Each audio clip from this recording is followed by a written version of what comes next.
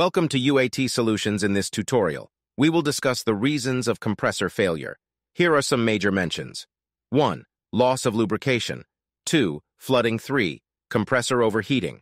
4. Electrical problems, loss of lubrication. Poor oil filter, mechanical damaged parts like oil pump, contamination which will lead to system shutdown.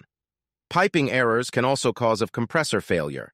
For example, if a bigger suction line than actually design is used, oil won't return to the compressor, which will lead to low lubrication.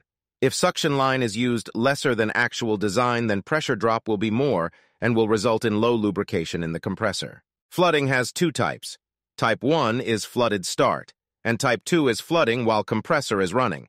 Let's understand flooded start first. If compressor crankcase heater is not working during off-cycle, then liquid refrigerant sinks under compressor oil as shown, and when compressor starts foaming, take place as shown, and oil circulates with the refrigerant.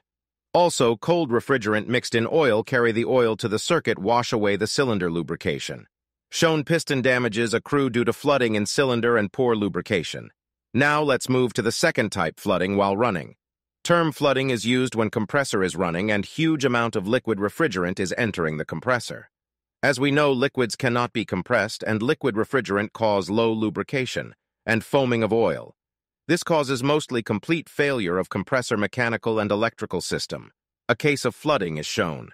As compressor was operating in flooded state for long, which lead the rotor bearing run out of lubrication, resulting damage of bearing led to the drop of rotor on the stator coil and a short circuit happened resulting in failure of compressor.